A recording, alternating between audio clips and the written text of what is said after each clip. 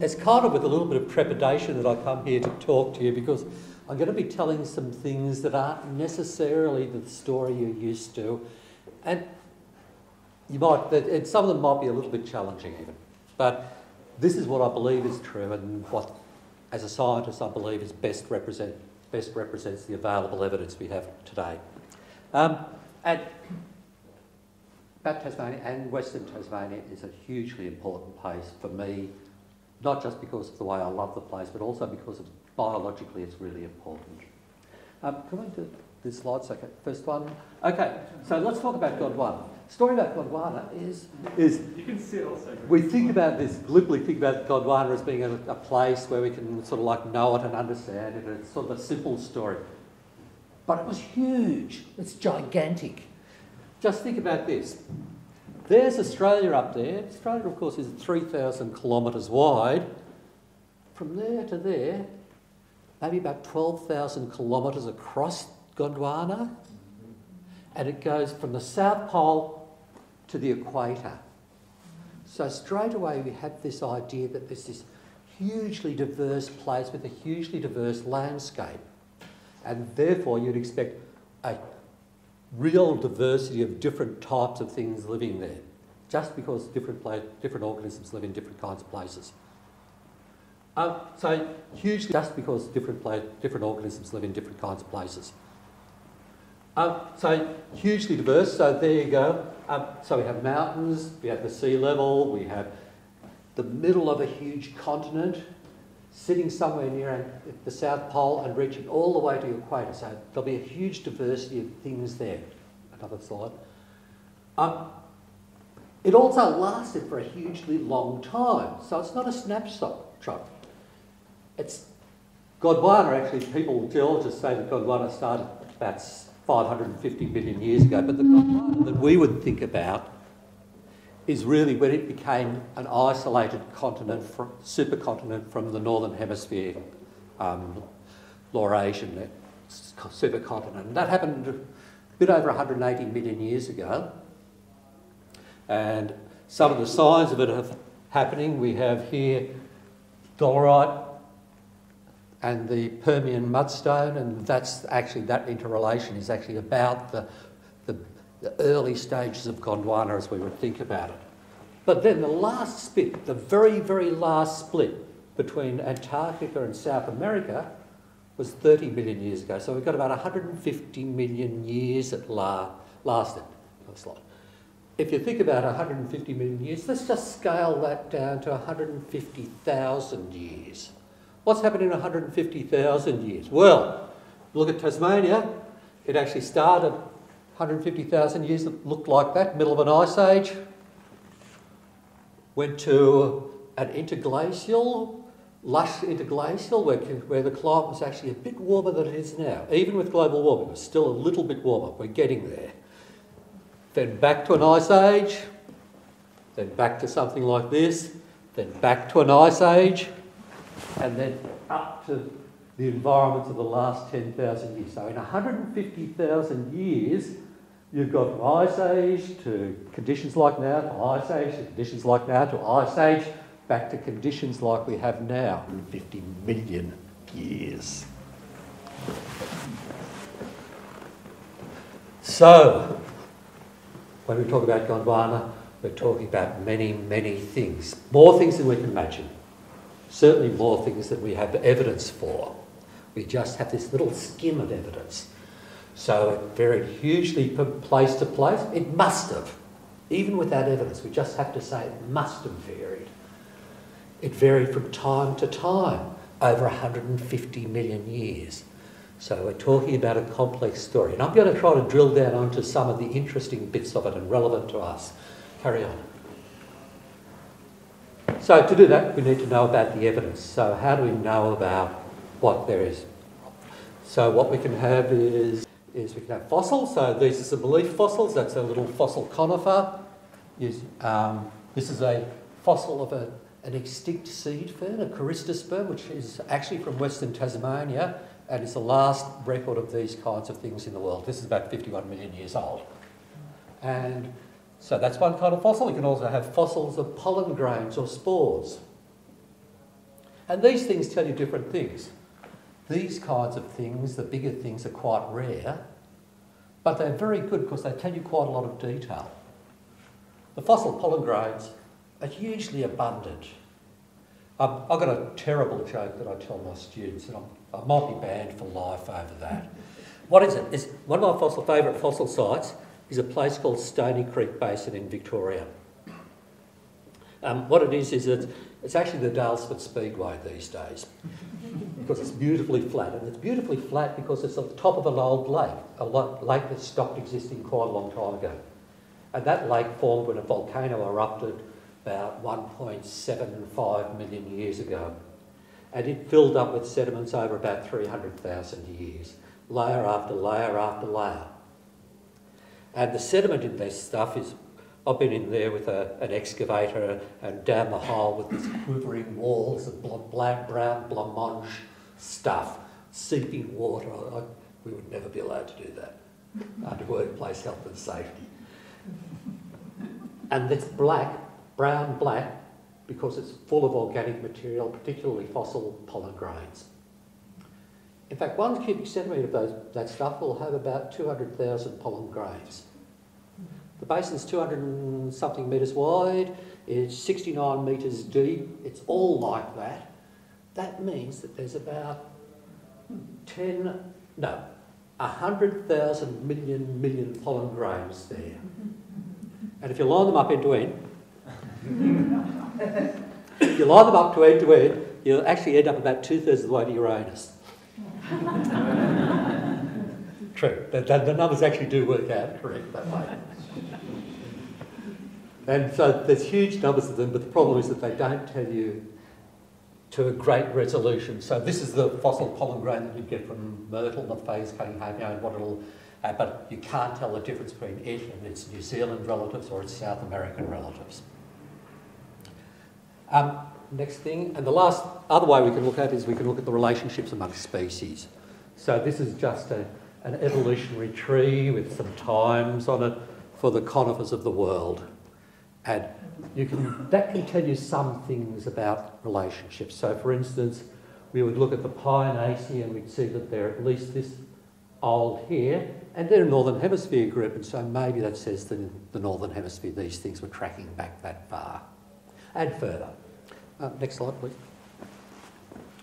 So, given that kind of evidence, let's just think about, well, what's happened, what, what we would get. So, at the beginning of Gondwana, we know, we know a bit about it. So, 180 million years ago, Tasmania is fabulous because it's got a wonderful fossil site that, that tells you about that time. It's the Lune River site. So, there's a couple of people having a little think about it.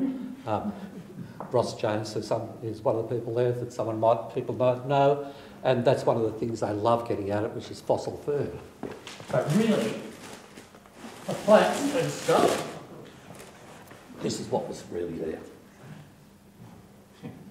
So this is a nice little bit of silicified conifer wood.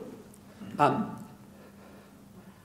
people will tell you that it's agathis kauri, not strictly true. It's actually something which has wood that looks like kauri. We don't know exactly what it is. All we do know is that they're dirty big trees. And they were the dominant trees in the forest. And what else was there? A whole bunch of ferns and a whole bunch of extinct stuff. And that's pretty much what we know about what was happening in those forests in the early Gondwana we come on a bit, a little bit more recent, we start getting better evidence. So we go to about 70 million years ago into the late Cretaceous, so just 5 million years before the dinosaurs went extinct. What's kind of interesting about this is what we find in the fossil record there challenges quite a few of our more modern preconceptions about what Gondwana is about. It says, not rainforest. What it says is open heathland country with fire. And so we have living relatives of, this is, this is Conospermum proteaceae, a lovely thing from the east coast, but also mostly Western Australia and a bit into the east. Uh, Banksias were there, um, were there, so the heathland kinds of, of species. So a little bit of a different view there. So instead of it just being rainforest end to end, no, not really. And fire was certainly a big part of that system. And click one more, please. And of course, eucalypts were, were just appearing about that time, and eucalypts are very definitely Gondwanan. There are beautiful fossils from South America now, which are a bit younger, they're about 52 million years old. And of course, a bunch of the things we have now, like this is the beautiful creeping pine, which was, even though it's just a little thing we see in the alpine Tasmania creeping across rocky things, it was world dominator. It was everywhere in the southern hemisphere and one of the most common things. And we don't know whether what its habit was. Was it a big tree or was it like this? Maybe a bit of both. And so, in that time, at least part of Gondwana, some of the bits we know about, were probably more like this than the rainforest. So if we skip a bit further on, so obviously um, just leaped oh, trivial 20 million years, during which several things happened. At least several. In fact, quite a lot more than a several things. 50 million years ago, this is where the Gondwanan story that you're most familiar with really comes from. The whole Gondwanan story about rainforest comes pretty much from this time, more or less. This is the peak time of the warmest and wettest period of the last 70 or 80 million years, the early Eocene. So climates were warm and wet. In Tasmania, we have evidence from the west coast, from Strahan, where it's actually as warm as the tropics now. So lowland tropics, like Cairns. And what else we had? Uh, there was lots of rainforest, and that's where a lot of the story comes from. And that rainforest was not so much the rainforest that we see now in Tasmania. It was actually really diverse. And it had a lot of stuff that we now think of as tropical things, and a lot of stuff that we can't quite work out what they are. And a lot of conifers. Um, oh, sorry, yeah. But there were also, through that time, the non-rainforest was there because remember, Gondwana is such a huge place. There's space and time for everything. And so there was probably stuff like this. So alpine stuff. And of course, this of course is part of Tasmania, which has the fabulous relict alpine vegetation, which I'll come to later. Or indeed like this, so open things full of these ancient things. Next. So that's Mount Read. But what about this? This is the stuff that we know and love. So this is a, a beautiful, very beautiful myrtle forest, the callidendrous rainforest. This is actually from the northeast, but you could, could have taken this photo in the northwest. Could easily be the Tarkine. Um, this is actually a bit of a challenge. This stuff, even though the species in this kind of vegetation were present, oh, the ancestors of them were present in Gondwana. None of the actual species were. The ancestors were. In fact, every bit of evidence that I know of says that this kind of vegetation only appeared after Gondwana broke up. Um, well, second show tell is the story of Gondwana comes and Nothofagus comes from this kind of fossils, these kinds of rocks here, where you probably can't see, let's sort of have a here. You might be able to see black things, if you come up and look at them, you'll see that that's actually beautiful fossil leaves, and they're obviously like Nothofagus leaves, and certainly like the ones in northern New South Wales or in South America. Absolutely. This stuff first appears after the break of Gondwana, about 30, in Tas- Tasmania, about 33 million years ago and then just got bigger and bigger. So, in other words, this is actually a recent artefact, a recent, not artefact, a recent um, appearance of creation. It's really quite surprising. So, the myrtle fossil pollen type was actually really rare until about 30 million years ago, and then it went straight off and became really, really abundant. So words, this sort of stuff is a, it's a slightly different way of viewing this. So what I've done is I've kind of bagged out the, you know, the, the classic Gondwana and Tasmanian rainforest story as we see we go to the Tarkine, Gondwana, not really. But there is stuff that's special about Tasmania. We all know there is. we do.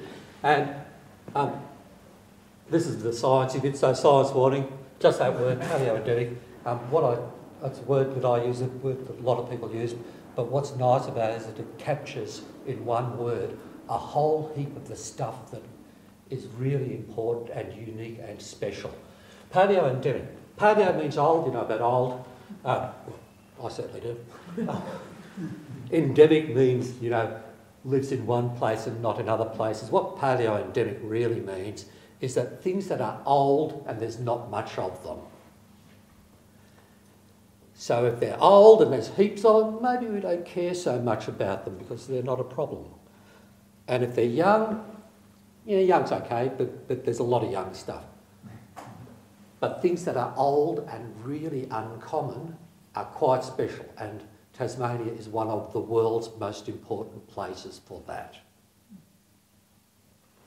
Okay, some of the things we might already have in your head is the conifers. So people have talked a lot about King Billy and pencil pine, and yes, indeed, it's absolutely a fabulous paleoendemic. Together they are. So as a group, 150 million years old, and of course, just only in Western Tasmania. Creeping pine actually outdoes King Billy. It's just as old, and it's actually quite a bit less distributed because it's just in the alpine area. Um, this is one you may not know as well, some of you would. It's, it's Mount Mawson pine, Pherosphaera hookeriana. Same again, but even a little bit more so. And then we have a bunch of others, so Huon Pine certainly gets a Guernsey, but not at the, quite at the same level as them. Um, that's Diselma, the Cheshunt pine, and, and top pine also gets a Guernsey. But it's not just them, it's not just about the conifers, even though they are kind of the showpiece. There's a whole heap of flowering plants, so the woody plants. Oh, have I been a bit fraudulent? I'm only talking about plants. There's a heap of interesting stuff about animals as well. But I'm not an expert in that. So, anyway, woody flowering plants. The showpiece there quite possibly this little baby, which is Tetracarpaea tasmanica. Doesn't really have a common name. It's another alpine plant, subalpine plant. See it at Mount Field. See it quite a lot in, sort of like in the southwest. You can actually see it sort of in moderately low altitude in the southwest. It's a whole family of plants on its own. Next. Um, Proteaceae, so Bellendena, the mountain rocket, it's the showpiece, but other things like the lovely, delicious, stinky Port Arthur plum, Cenarrhenes niter, niter, and what's sometimes called the white waratah, Agastachys. Again, really good paleoendemics. And more. And some of the heaths, so like climbing heath, sometimes rainforest, but it's also well and truly out in the alpine plants. Um, and some other ones. So this is Dracophyllum milliganii. Last one. And yes, finally, finally I get to Nothofagus. but only the Fagus. Not really Myrtle. Myrtle's just, well, Myrtle's is just a bit vulgar. A bit young and vulgar. a bit common. But yes, it does, but it only just creeps in with the Fagus. It's not really up with these other things. And or some other things that things that we have no fossil record and no chance of getting a fossil record of. So like some of the, the monocots, so this is Campynema lineare, which is almost a family on its own in the lilies. This is the Hewardia, Isophysis tasmanica, which is a member of the iris family.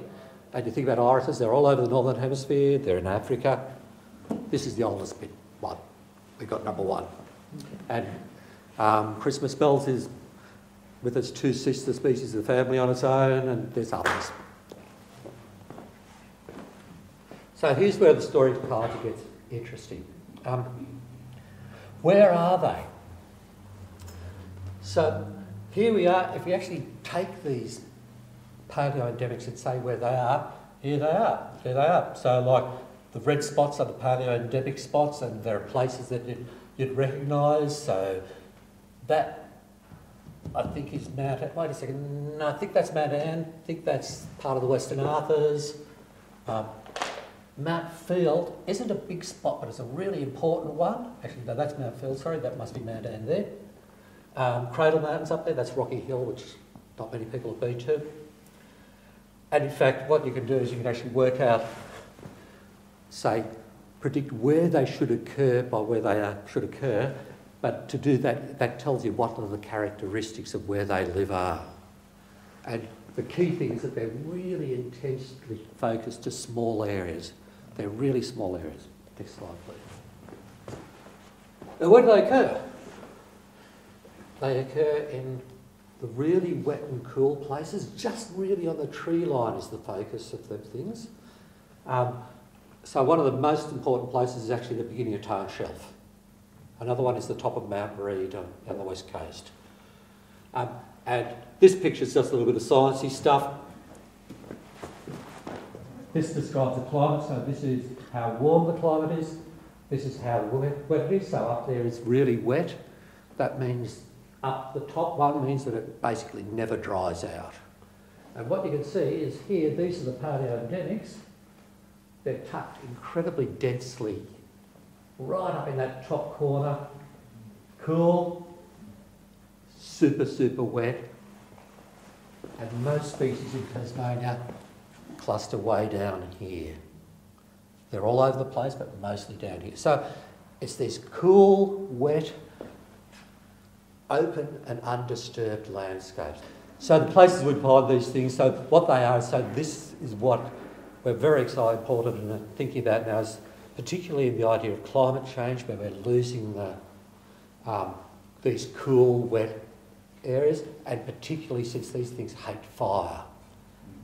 And fire is a big component of Fire is what's hitting us right now through climate change. It's the biggest impact we've got right now. In the future, there might be other ones, but it's the one we're really going to worry. That's all I wanted to talk about. Thank you.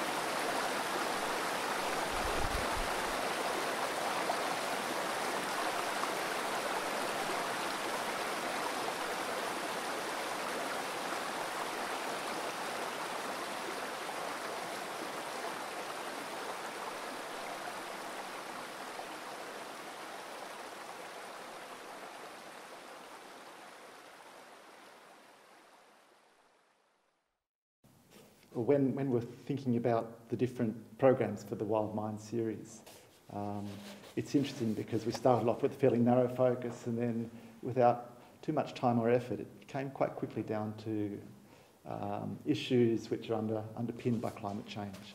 And this issue certainly, as Greg's alluded to, fire, which uh, is an imminent and dire and uh, threat, and it's a threat that has occurred twice through anthropogenic climate change 2016 2019 and the fires on the Central Plateau. But before we get to that, I'll just run through the slides now. The first shot we just had a second ago, uh, the West Coast Range, again, autumn snowfall covering Fagus, uh, Pencil Pines. Um, moving down altitude a bit, this is west of Cradle again. We've got a pretty good complement of uh, ancient paleo-endemic. we'll call them APs for short.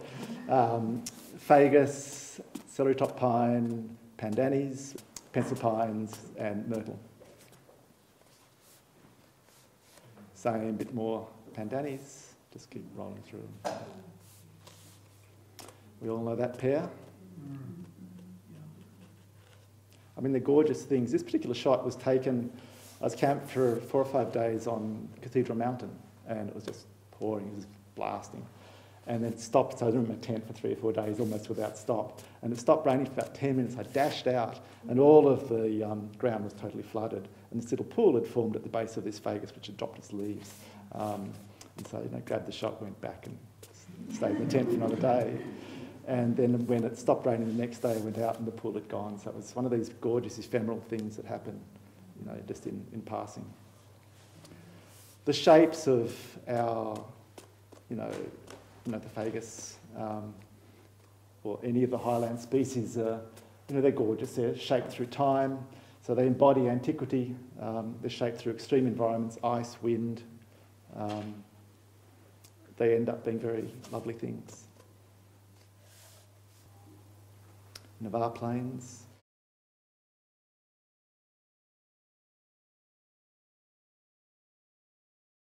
This was a bitterly cold day on the near Mount Ironstone on the Central Plateau. This this you know, frigid southerly coming through, not with snow, but just steady, quite strong wind and really really cold temperature and just light dusting of, of snow, which was sticking on everything because it was about minus ten in the wind. It was very cold and the place most of us would know and love, you know, the, the hot spot for pencil pines in Tassie, the walls of Jerusalem National Park. And then going to the rainforests, we won't say more about the fact, apart from the fact that they are rainforests here in the Tarkine. Lovely, you know, ancient myrtles, tall trees, groves of leatherwood, headwaters of the South Esk. Just pause there for a second. So this takes us to the northeast of the state, and we've had sort of a nice little tour through the nice parts of um, the vegetation, and now I'll just briefly diverge into the, uh, the human threats. This is a place called Tombstone Creek. It's in the headwaters of the South Esk River. It no longer exists. It was a place I stumbled upon uh, in 2003 or 2004 and went back several times and took photographs. In 2006 it was logged, uh, clearfelled and burnt. What was characteristic about this place is it had immense sassafras, like they were just giant sassafras, um, you know, scattered through the forest. And it was essentially a rainforest with, you know, tall eucamergence. It was logged and then burnt down to mineral earth. And that, then that's the shot taken 10 years after it was logged we had a session at the uni today, and one of the things I was talking about was um, carbon emissions from, from logging.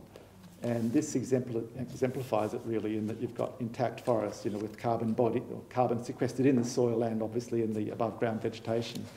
And yes, it will come back, as is shown here, but we're looking in terms of centuries rather than you know what's required because we're obviously in a very critical juncture, and it's five to ten years we're looking at now, not you know a couple of centuries. So there is, thanks to the rainforest uh, uh, special, special species management plan, which was gazetted in November in 2017, it opened up um, much of Tasmanian rainforest, which is not in national parks and World Heritage Areas, to logging. And so just scroll through these ones, starting from Bruny Island there. Uh, little slivers of rainforest on the east coast. There's a place called Big Sassy Gully, and then up to the northeast, Mount Victoria, um, and also Mount Victoria, same area. And just a bit west of there, gorgeous place called the um, Paradise Plains. The Rattler Range, which is an amazing open, high, just hold it there for a second, a high ridge which cops uh, moist, warm air coming in on northeasterlies, and so it's our closest thing to cloud forest because it, it's probably, probably actually its rainfall is not, you know, particularly high, but it just is very often in cloud, moist air coming straight up off the ocean to a fairly high mountain range, eight, 900 metres, running, uh, which runs, you know, directly across the line of the prevailing northeast, moist nor'easterlies, nor'easterlies. And it's, the northeast is like this shot as well. It's characterised by um, gorgeous callidendrous rainforest, open, um, beautiful walking. You can walk in any direction and just delightful callidendrous means cathedral-like, and so that's, you know, it is, it's cathedral-like. Mount Victoria again, for some reason, characteristically at Mount Victoria, um, there's a number of large myrtles which are multi-coppiced. I presume it's fire, like maybe 400 years ago there was a fire which didn't kill them, but they all coppiced and then they've been fire-free since that time. Greg can shoot me down later if that's wrong, but that's, you know, how it would present going across to Vale of Belvoir, uh, Vale of Belvoir Conservation Area. You know, so all of these places are zoned for, or available for rainforest logging. The plan stipulates a 300 year rotation, but logging 90% of the rainforest in conservation areas and regional reserves in that time. And realistically, in, in the face of cli changing climate, um, the impacts of logging, roading, opening up, uh, uh, you know, fragmentation, desiccation, edge effects, and so on. Um, if that were ever to come to pass, we would lose the bulk of that rainforest, there's no question of that, and we'd certainly lose all of the rainforest wilderness, including, uh, I think we've arrived now at the Tarkine, uh, Australia's largest rainforest wilderness. Um, only 5% of this is of the forest area is reserved in Savage River National Park. The rest is uh, either future potential production forest or regional reserve. There's a number of regional reserves. You know, the Tarkine is an extraordinary place. As I said, it's Australia's largest rainforest wilderness. And currently its default is not only open to logging throughout, um, but also open to mining. So obviously this is not a state of play that, we'll, that we will allow to continue or to be implemented and acted on, but that is where we are right now. So I've got a few more here just of Tarkine rainforest areas.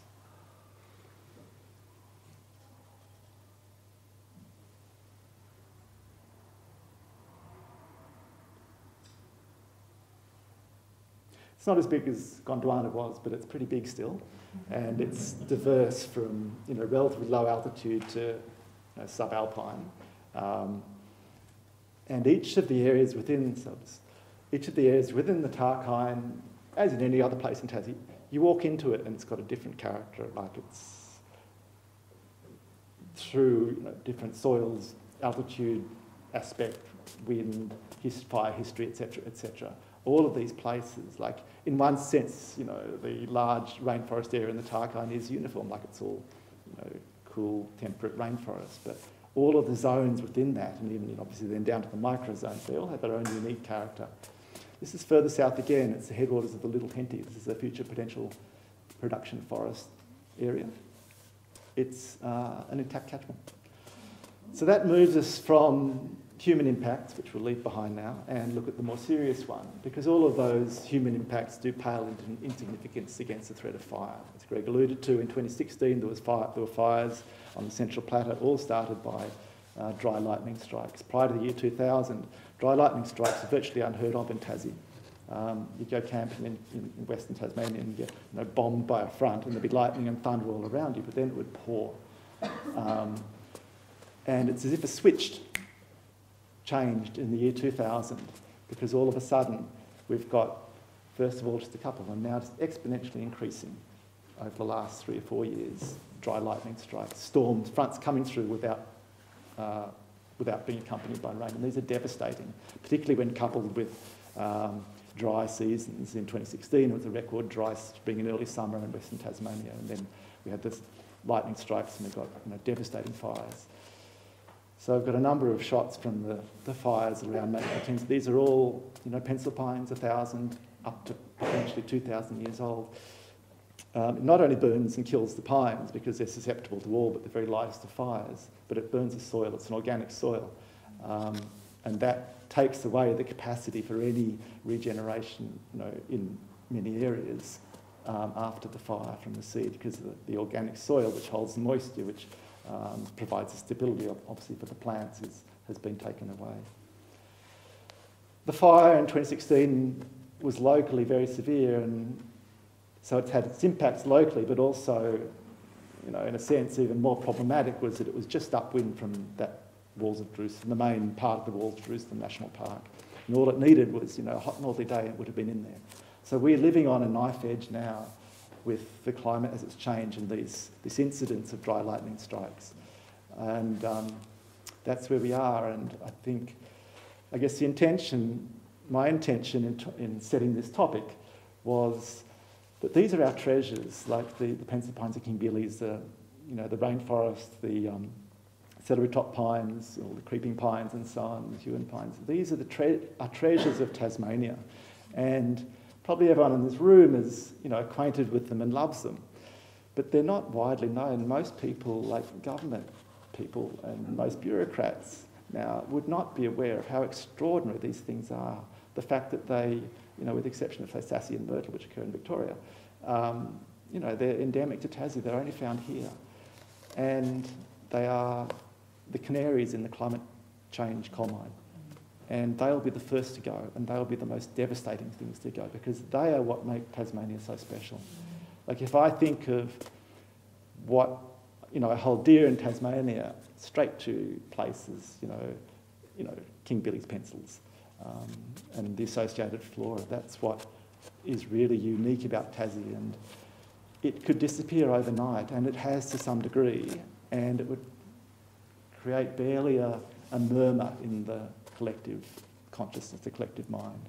And that's tragedy. And I think what, what our duty is, is to raise the profile of these things so that they get a lot more attention than, than have, they have had you know, to date. And more resources are allocated to them. Let's just keep going through and we'll come to resources.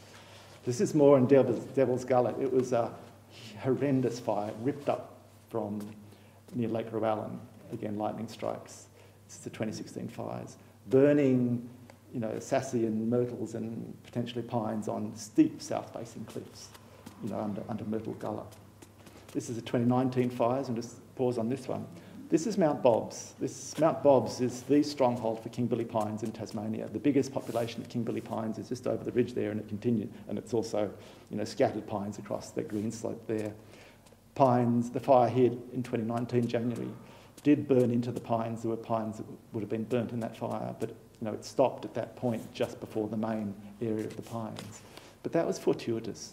No human resources were put to stop that fire because it was deemed, the fire was also burning west of Geeveston. It was deemed that that was the priority and the resources that were available were not sufficient to have had an impact on this fire. So it was fortuitous. It was a gamble made that, you know, the weather was cool enough, the humidity was high enough, the winds were light enough that it wouldn't take off up that slope. It had a good run at it, um, and you know the gamble paid off. But what a gamble! Like these are, this is a place that hasn't burnt since the last ice age. Trees 1500 and more years old, and it was just a gamble because we didn't have the resources to actually hammer it, you know, early on in the piece. To me, this is an utterly intolerable situation, and again, it's up to all of us in this room and beyond to clamour for these places to get the recognition and the resources that they deserve. So to end on a more, well, it's a positive and negative note, this is Mount Murchison on the west coast, and the fire here would have been lit by people, uh, as 95% of fires were before the year uh, 2000 or so. Um, it's an interesting place because to the north you've got high cliffs, to the west you've got a high ridge which wasn't burnt and you know, with rainforest on it. Um, to the south you've got more high ridges and more rainforests, and just to the southeast there's a little there's an area of more flammable vegetation. That's where the fire must have come. So this would have burnt in the 50s, 1950s, and it would have been an utter tragedy because, as you can see, this is a, you know, a verdant in terms of you know, as a home for King Billy's, this would have been an incredible location. It's sheltered, it's you know, obviously right at the, the right moisture level and altitude and so on. But they were all killed. Like there's a couple of little fagus bushes you can see. There's a couple there. And I've sort of walked crisscross this area and there's a couple of, like literally, you know, two or three little pencil, uh, King Billy pines about that big in one, one spot. But essentially the whole valley, you know, 500 metres across and, you know, a K and more wide, which would have been this fantastic King Billy forest, rivaling Dixon's Kingdom as, you know, parallel to pencil pines, um, all lost, totally lost. Interestingly, in, across the ridge to the right, there's a, a you know, a, another valley which was partially burned, um, but, but primarily not. And there's been prolific seeding and regeneration, like these young King Billy pines, just lusty things, you know, growing like crazy. So it's obviously fantastic. It's an optimum environment for the King Billy pines. And in a sense, like this tragedy that happened, you know, 70 years ago, we can contemplate this or other places like this as a site where we could attempt revegetation, re, reintroducing you know, the flora, putting, you know, hand planting thousands of King Billy pines and then the associated flora to, to try and replicate what it was. So this has happened um, to a small degree. Dave Bowman's got a team at UTAS that are doing this on the plateau um, and they've just started doing some plantings uh, in the areas of the 2016 fires. Um, that's a pilot program, we'll see how it goes. But a place like this, which has got higher rainfall, no rabbits, no deer, um, more protected from fire, and probably not as cold, you know, if the pilot program works, you know, it could be considered, you know, as a target site there. And not only might you get, you know, the re-establishment of something resembling what it used to be, but also, in this time of, you know, climate crisis, you know, climate crisis and um, you know, a very bleak future for the planet unless we pull our fingers out. Um, you know, it's, it's a symbol that, yes, we're going to make the effort. We're going to try and uh, re, rewild or revegetate these places which have been lost in the past. So I've just got a short film to finish up with.